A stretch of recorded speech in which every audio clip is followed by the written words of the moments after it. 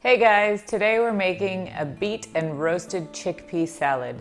It's got lots of earthy, crunchy flavors from the celery, the parsley, the beets. We're gonna add in a little more crunch from some pistachio nuts. You could also use pecans, walnuts, whatever you like, and some fried chickpeas that we're gonna fry in a bunch of aromatic spices and olive oil. I'm gonna show you how to make it, and it's so freaking good. Here I'm cutting up three to four large beets. They could be roasted, boiled, pressure cooked. It doesn't really matter as long as they have a little bit of bite left to them. So you want to make sure that they're not entirely overcooked. I'm also adding in a large bunch of parsley. You can also use cilantro. It's delicious in this recipe. Just make sure that everything is nicely evenly chopped. And I'm also adding in three to four large celery stalks with the leaves with a very fine dice. Um, and it gives the salad an excellent crunch.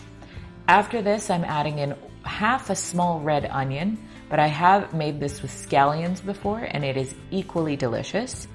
And once I'm done with the fine dice on the onion, I'm adding in a handful of shelled pistachios that I've chopped up finely. You can also use pecans or any other nuts that you like.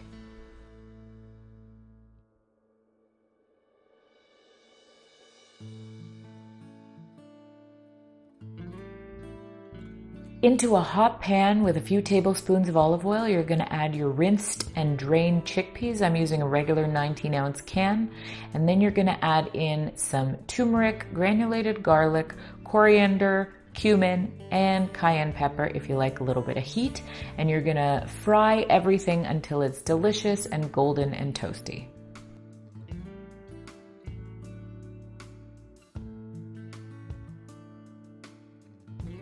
Okay, so the chickpeas are fried. I always add them in when they're hot. I like to eat this right away while it's still warm, although it does get better in the fridge the next day and you can absolutely eat it cold.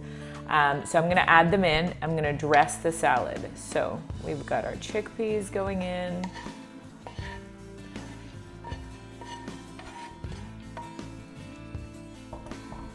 And I'm gonna dress this with some extra virgin olive oil. I don't measure anything. I'm eyeballing. You want to go very liberal on the olive oil to give it, um, to sort of bring it all together. I've got some balsamic vinegar.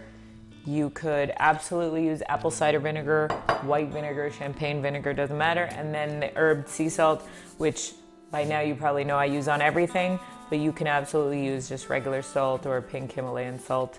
Um, and then we're just gonna stir this all together.